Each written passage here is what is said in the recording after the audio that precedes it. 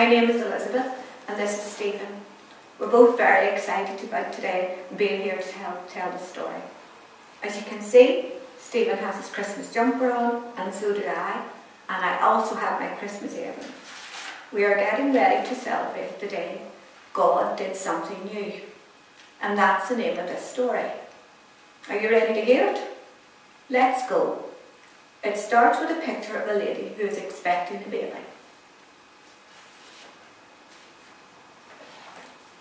Do you remember the family from yesterday's story? There were three people, a mummy, a daddy and a baby. The mummy's name was Mary, but almost a year before she went into the temple, she had a very surprising experience. Mary was in her house, minding her own business, when suddenly the room filled with a dazzling light. Mary strained her eyes to look into the light and could just make out a figure. It looked a bit like a person, but it was far too bright to be any person she knew. Then the figure spoke. Hello, Mary. God is with you. And Mary realised it was far too loud to be any person she knew too. That's when it hit her. This is an angel. Mary had never seen an angel before. She was afraid, but the angel said, Don't be afraid. God is coming to stay. Mary, you will get pregnant today. Mary was confused, very confused. It sounded like good news that God was coming to stay, but Mary wasn't even married. How was she supposed to have a baby? The angel explained that God was doing something new. He wasn't just sending a baby. This time he was sending a baby king. He was sending Emmanuel, God with us.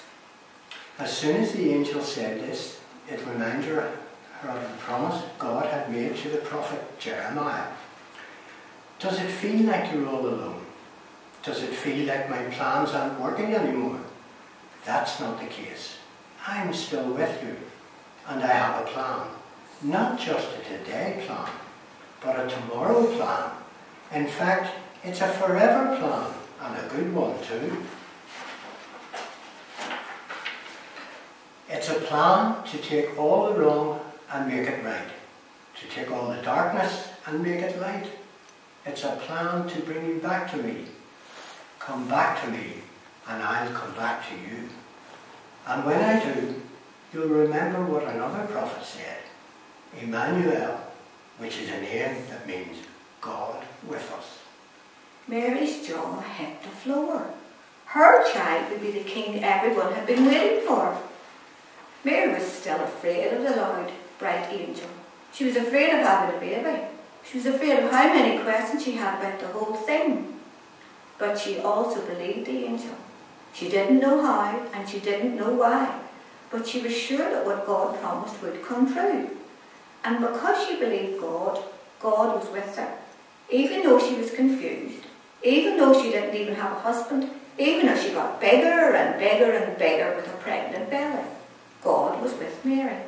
Emmanuel, Mary whispered to herself, God is with me, and he will be with us forever. Mary was so overwhelmed by this that before the angel even left, she sang, God couldn't remain. Sin drove him away.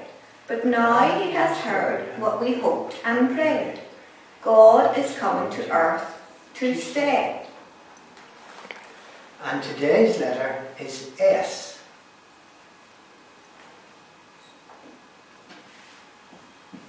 That's the end of our story. And we're very excited, Stephen and I, because there's only four more sleeps to come before the biggest birthday anybody ever had. Merry Christmas. Christmas.